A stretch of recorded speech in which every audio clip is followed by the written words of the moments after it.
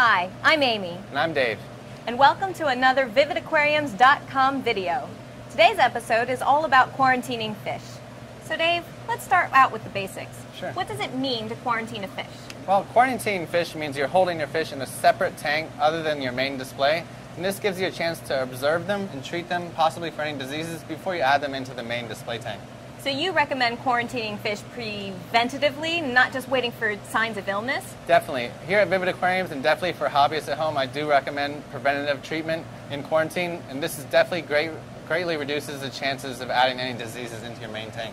Okay, so can you show us how to set up a basic quarantine tank? Sure, it's very simple. Uh, just a basic nanocube like this works really well. This is a JBJ RL30. It's a 30-gallon tank, about two feet across. Uh, you don't need much in the way of filtration or lighting. In fact, ambient room lighting will definitely be enough for you. Just use some pieces of PVC pipe to create hiding places for the fish and give them a place to rest and feel comfortable at night when they sleep. And you do want to use uh, some air, air stone, or not an air stone, but airline tubing and an air pump to add uh, air bubbles and oxygen into the water when you're running different medicines. Definitely uh, helps the fish breathe better as well, so definitely do that. What about live rock and sand? We don't recommend running live rock or sand in a quarantine because it does give a place for parasites to hide out. So usually just a bare bones, bare. If you have a wrasse that buries or sleeps in the sand, you can put a Tupperware in the middle of it with a little bit of sand in it for him to sleep. But if you're not running or quarantining wrasses, I would just run it completely bare bottom.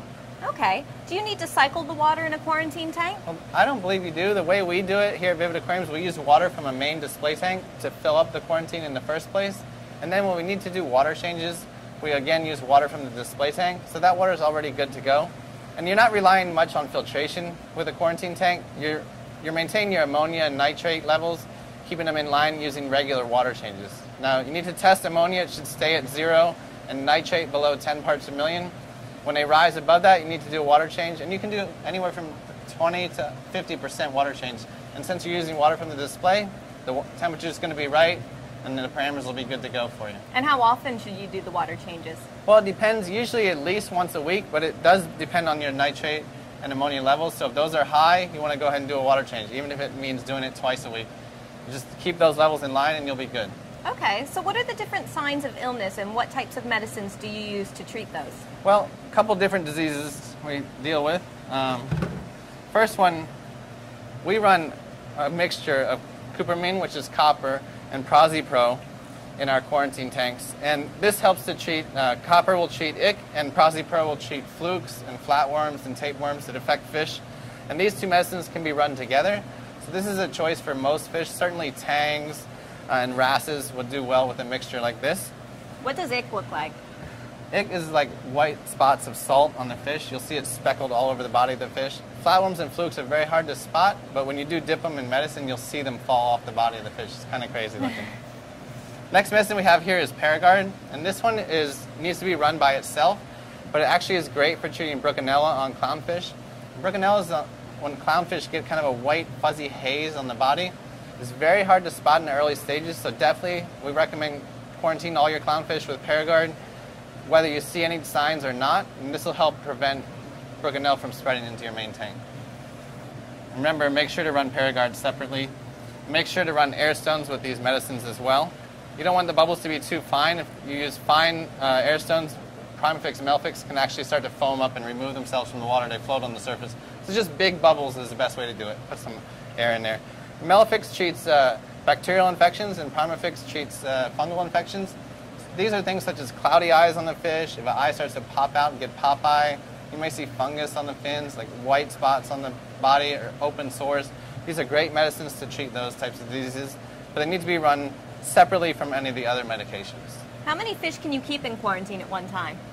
Well, that does depend on the size of the quarantine tank. Um, tank like this, you could easily keep, I would say, four to five fish. And again, as long as you're keeping your water levels in line with frequent water changes, I think easily four to five fish in a tank like this. And what if you're using one type of medicine, but then you want to use a different medicine that shouldn't be mixed? How do you get rid of the first medicine? That's a good question.